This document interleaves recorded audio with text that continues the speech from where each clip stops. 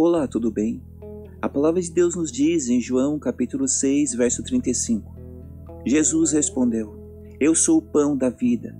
Quem vem a mim jamais terá fome, e quem crê em mim jamais terá sede. Jesus é quem satisfaz a nossa sede e fome espiritual.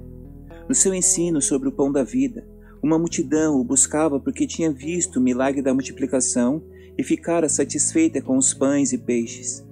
Mas Jesus mostrou que mais importante do que o pão que dá vida ao corpo mortal é o pão que dá vida eternamente. Infelizmente, esse ensino pareceu duro demais para muitos ouvintes.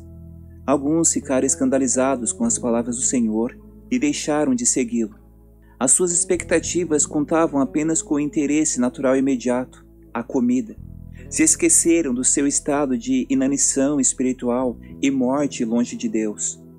De maneira semelhante, muitos vão até Cristo hoje em busca de soluções rápidas para seus problemas pessoais, se esquecendo que o mais importante é ir até Jesus e crer nele para uma satisfação completa e eterna.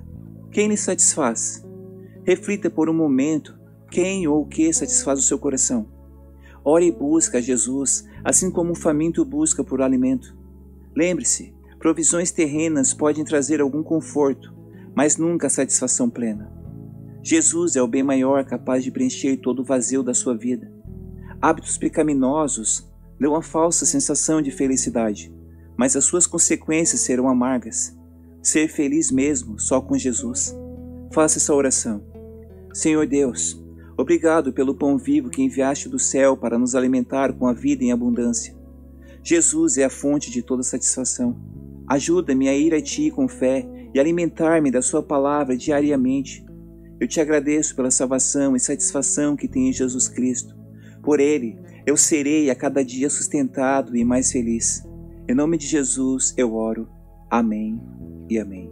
Deus de Israel te abençoe. Shalom.